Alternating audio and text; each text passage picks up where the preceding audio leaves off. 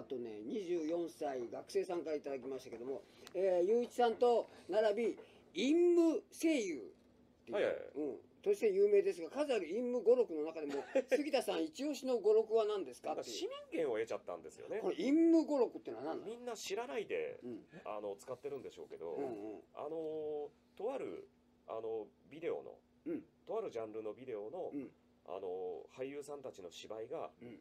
とてもなんかこう印象的でうんでその独特の言い回しとかがやっぱあるんですよ、ああなのでそれが癖になって、うんうん。語録と化してみんなスラングのように使い始めたんですね、でも普通に今漫画で例えば僕矢印先輩っていうキャラクターをやった時にううんうん。